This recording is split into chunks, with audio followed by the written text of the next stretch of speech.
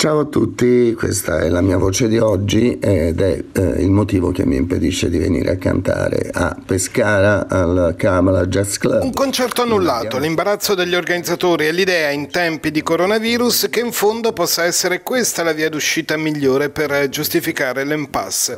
Nulla di tutto questo e a gridarlo forte anche con un pizzico di stizza Sergio Caputo, il noto cantatore romano che lo scorso 27 febbraio avrebbe dovuto suonare nell'ambito della rassegna del Kabbalah al caffè letterario di Pescara.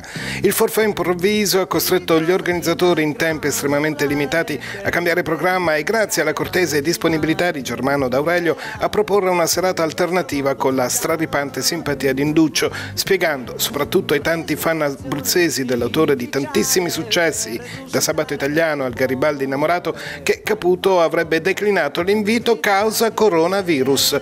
Le notizie viaggiano veloci, specie attraverso il web, e così Sergio Caputo viene a conoscenza di una realtà completamente diversa da quella che si immaginava.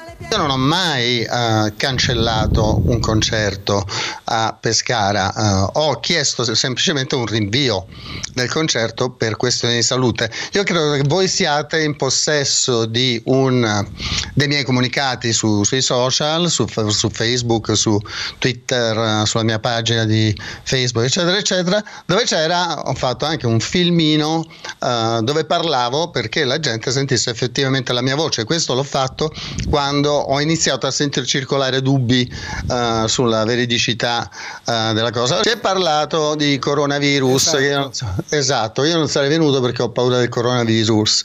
Allora, io ero appena tornato dall'Italia da una serie di concerti quando c'era già il coronavirus e quindi non, quello, non era quello il uh, problema. Il coronavirus semmai c'entrava, e io qui siccome non ho parlato io con le persone uh, del Kabbalah, può essere venuto fuori uh, per il fatto che se io avessi tentato di prendere un aereo quel giorno con il naso che colava, gli sternuti, una tosse irrefrenabile, gli occhi rossi e l'aria ammalata, probabilmente sarei stato subito segnalato, fermato, bloccato e messo in quarantena. Uno spiacevole equivoco dunque che si potrebbe sintetizzare citando uno dei ritornelli più geniali della musica italiana, targata Caputo. Bimba se sapessi che monotonia, tutte quelle balle sulla fantasia. E, e, e, a Pescara spero di tornare. Tra l'altro a Pescara io sono stato Francavilla a mare eh, la scorsa estate cantando e suonando davanti a circa 10-15 mila persone, non so quanti di voi mi hanno visto e c'erano, però insomma io, è, è, una zona che a me piace molto, insomma non ho motivi per non venire a Pescara.